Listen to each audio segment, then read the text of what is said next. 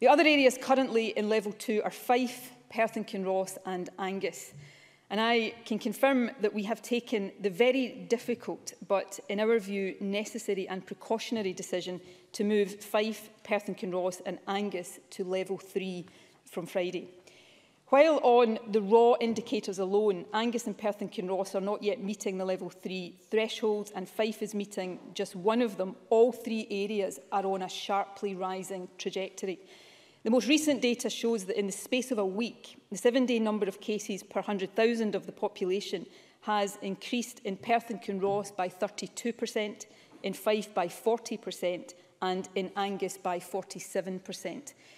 The advice of the Chief Medical Officer and National Clinical Director is that level 2 restrictions may well not be sufficient to slow down and reverse increases of this magnitude and as a result an early move to level three was strongly recommended. I know how disappointing this will be to residents and businesses in these three areas. However, and this is an important point, by acting now, we can hopefully prevent an even more serious deterioration eh, in the situation in future. I would ask people living in these areas to check the Scottish Government website to understand the restrictions in place at level 3. Businesses will also find details there of the financial support available from the Scottish Government, which of course is in addition to the UK Government's furlough scheme.